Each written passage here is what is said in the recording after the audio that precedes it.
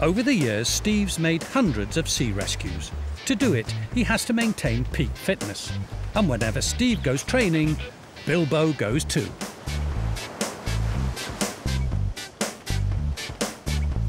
To battle against the undercurrents in these waters, lifeguards must be able to swim 400 metres in under seven and a half minutes, something Bilbo has no trouble with either. On, Bilbo. Bilbo thinks he's a lifeguard too.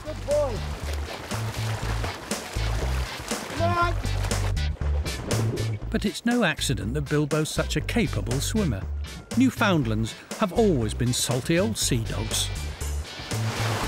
Their original job was to effectively be best mate to a fisherman.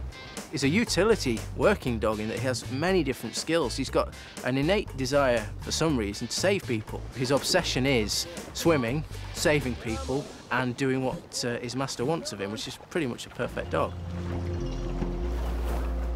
They used to use them in the Moby Dick days on whaling ships when the men used to row out and try and harpoon the whale by hand. Quite often those boats would get capsized and the men thrown up into the sea. They would have then two or three of these dogs on the mothership that they let go and they'd dive into the sea, swim over to where the men were, and they would drag them back to the mothership. So it's a natural thing within these dogs.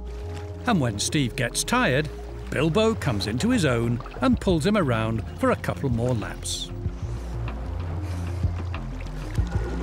Good boy. Unlike other dogs, when they swim, Bilbo doesn't so much do a doggy paddle. He does more of a breaststroke where his feet are going slightly to the side. He'll pull me around for hours on end in the water, just swimming up and down with me hanging onto his haunches. Fantastic, really.